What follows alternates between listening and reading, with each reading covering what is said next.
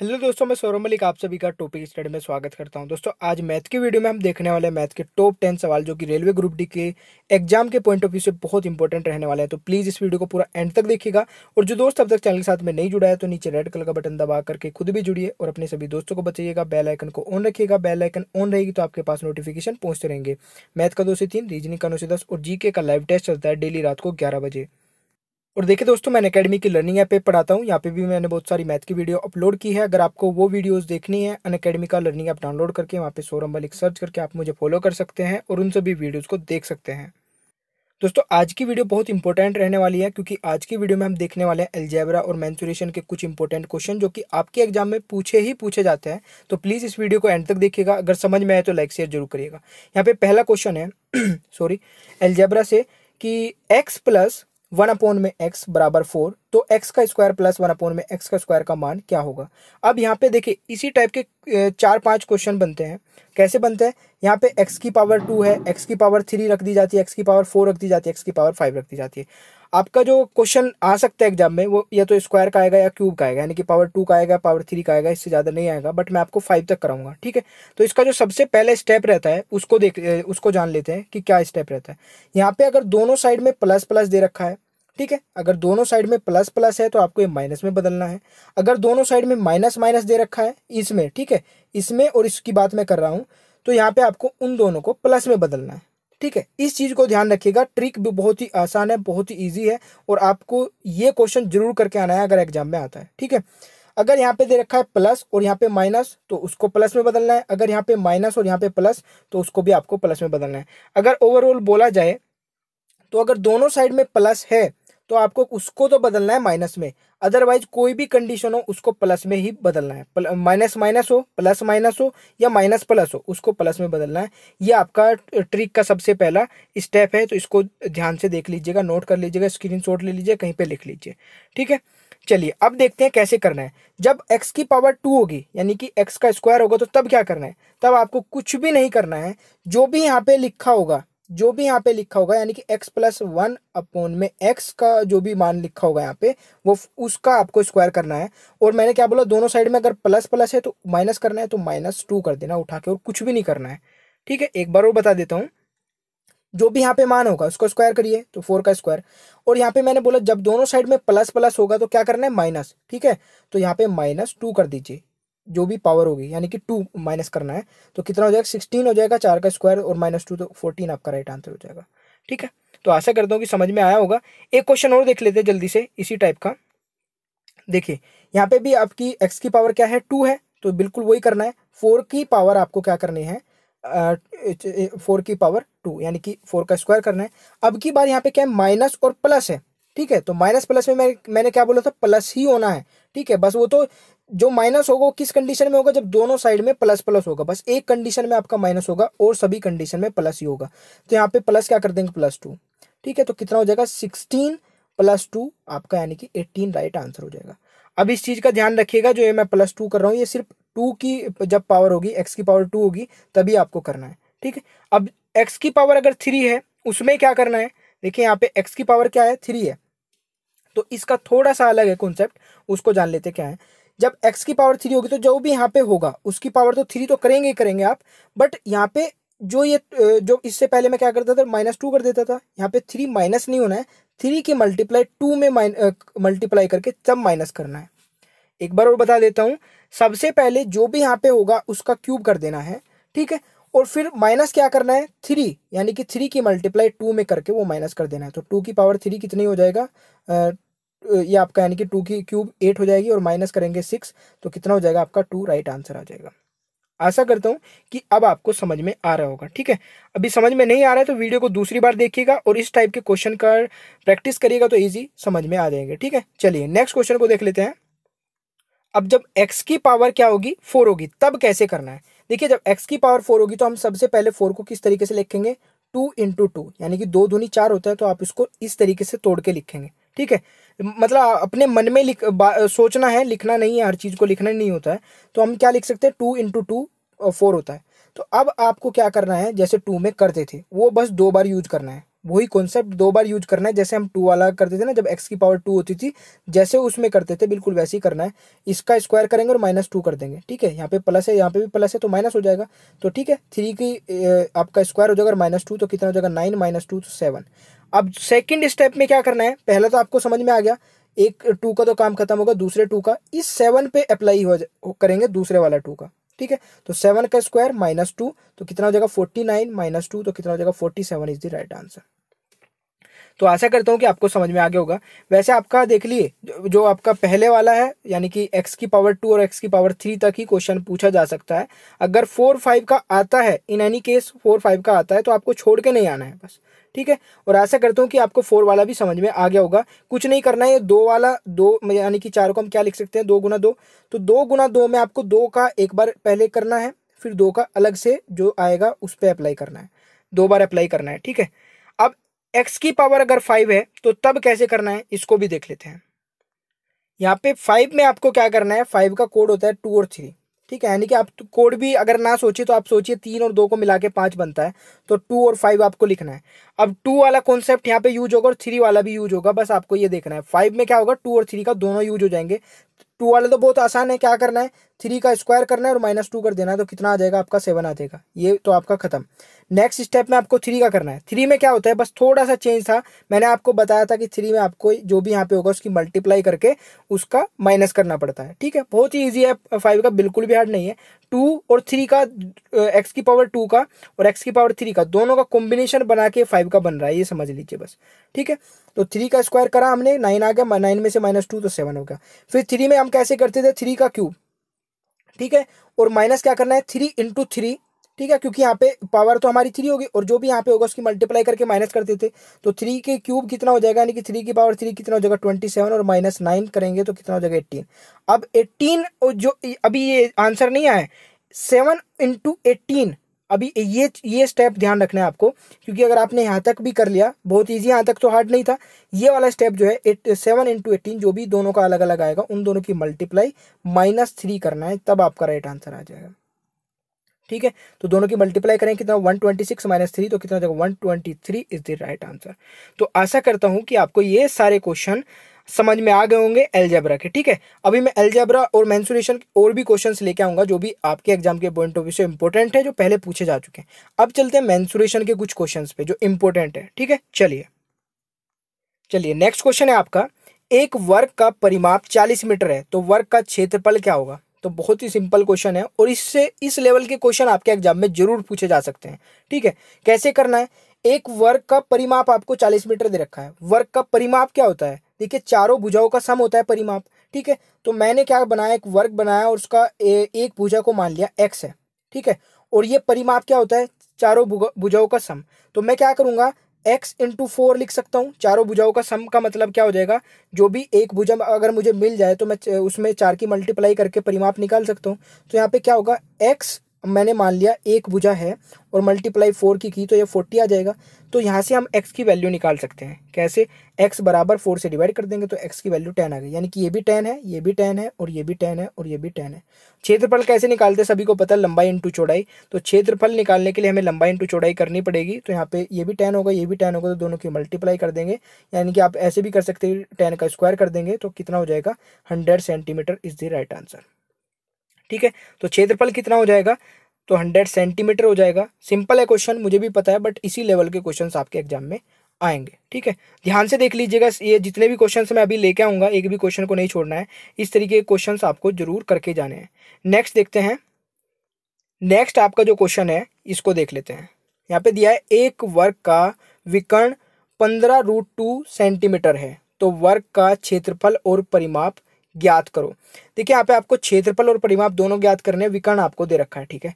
तो एक वर्ग का विकर्ण आपको दे रखा है, यानी कि डायगनल दे रखा है यहाँ पे ये कि फिफ्टीन रूट टू ये दे रखा है आपको, ये गिवन है क्वेश्चन में। अब यहाँ पे एक बहुत ही इंपॉर्टेंट चीज़ मैं आपको बताने वाला हूँ। बहुत से बच्चों को पता होगा, अगर किसी को नहीं पता है तो इसको जान लीजिए कि विकर्ण का जो डायगनल होता है, यानी कि जो ये होता है विकर्ण होता है सॉरी वर्ग का जो विकर्ण होता है, उसमें रूट टू की मल्टीप्लाई हो रखी होती है, ठीक है?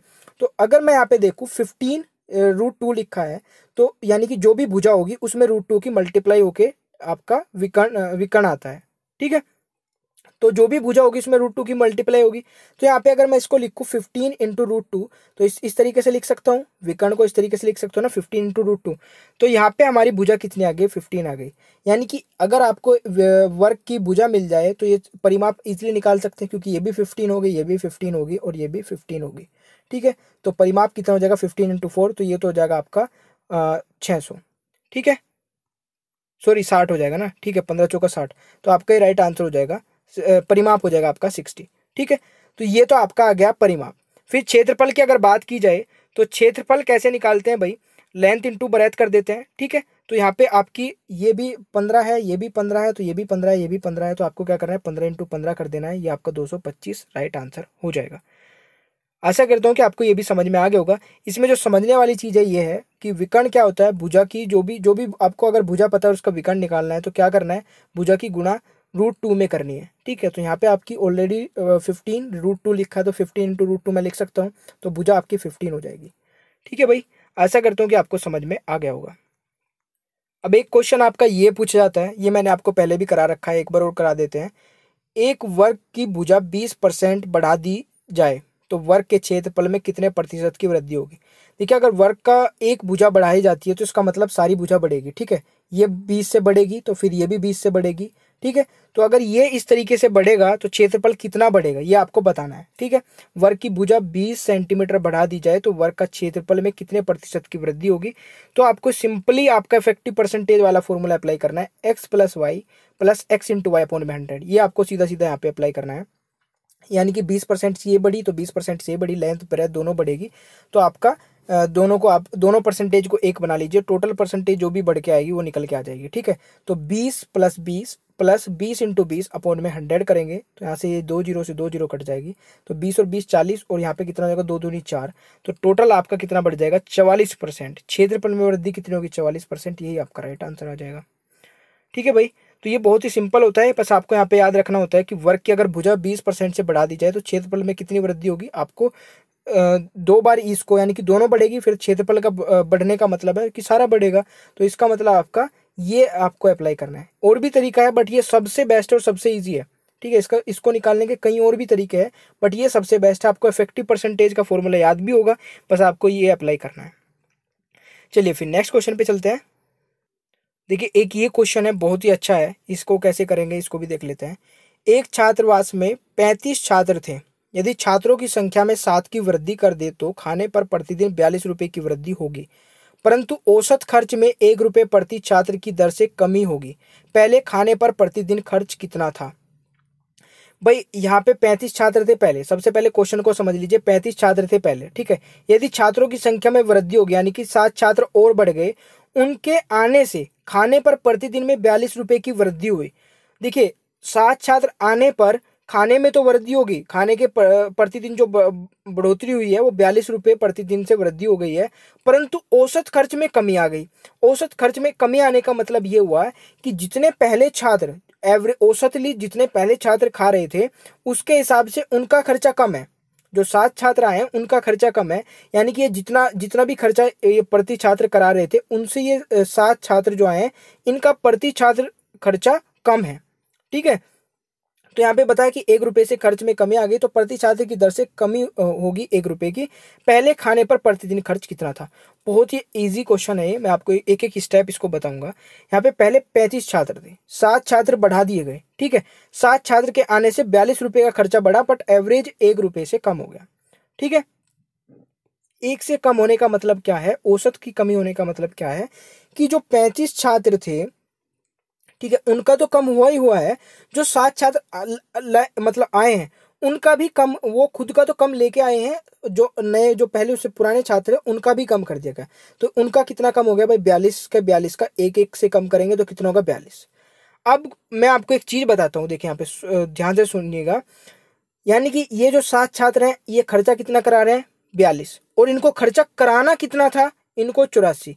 अगर ये जो सात छात्र आए थे, ये चौरासी रुपए खर्च कराते तो छात्रों का जो औसत था, वो चेंज नहीं होता, वो डिक्रीज नहीं होता, वो मेंटेन रहता।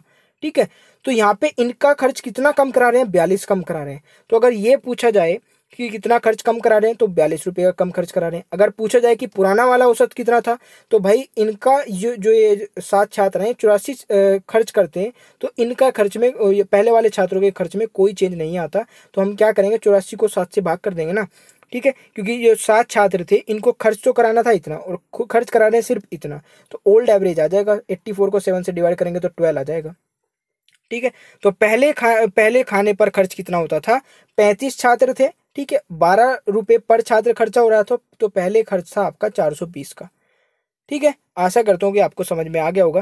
देखिए, मैंने चौरासी को सात से भाग करके ओल्ड एवरेज कैसे निकाले बहुत से बच्चों के मन में ये कन्फ्यूज़न हो सकता है। ठीक है तो यहाँ पे कन्फ्यूज़न बिल्कुल नहीं करना है। भाई, ये सात छात्र आए इनकी वजह से बयालीस रुपये का खर्चा बढ़ा। बट औसत में कमी आई। औसत में कमी आने का मतलब ये जितना खर्च इन्हें कराना था, उतना खर्च ये नहीं करा रहे हैं। कितना खर्च कम करा रहे हैं? बयालीस रुपये तो अगर इन्हें बयालीस रुपये और भी खर्च कराते तो टोटल खर्च कितने कराते? चौरासी। और ये चौरासी खर्च कौन सा है? ये पहले वाला, यानी कि ओल्ड छात्र जितना खर्च करा रहे थे, उसके हिसाब से खर्चा होता है सात छात्रों का। तो सात छात्र अगर पहले वालों के खर्चे से हिसाब पहले वाले जितना खर्चा करा रहे थे, उतना खर्चा कराते तो कितना खर्चा होता पर छात्र? तो चौरासी को सात से डिवाइड कर देंगे ना तो यानी कि बारह रुपये पर छात्र खर्चा करा रहे हैं पहले वाले, जो पैंतीस छात्र थे। ठीक है? तो पैंतीस गुना बारह कर दीजिए, ये आपका चार सौ बीस आ जाएगा राइट आंसर आशा करता हूँ कि आपको समझ में आ गया होगा। अगर समझ में नहीं आया तो मुझे कमेंट बॉक्स में आप बता सकते हैं। चलिए नेक्स्ट क्वेश्चन पे चलते हैं। देखिए लास्ट क्वेश्चन है और ये नाव एवं धारा से क्वेश्चन है। बहुत ही अच्छा क्वेश्चन है और इससे आपको पूरा नाव धारा वाला चैप्टर भी क्लियर हो जाएगा। मतलब जो इंपॉर्टेंट पॉइंट्स हैं इसके, वो क्लियर मैं कर दूँगा यहीं पे। क्योंकि इस चैप्टर से कोई खास क्वेश्चन बनते तो नहीं है बट एक क्वेश्चन तो बनता है कराना। ठीक है, और अच्छा क्वेश्चन है। एक नाव बिंदु ए से बिंदु बी तक धारा के साथ यात्रा करने में और वापस बिंदु सी जो कि ए और बी के बीच में है, तक आने में कुल 26 घंटे का समय लेता है। यदि धारा की चाल चार किलोमीटर प्रति घंटा और नाव की चाल दस किलोमीटर प्रति घंटा है तो बिंदु ए से बी के बीच की दूरी ज्ञात कीजिए।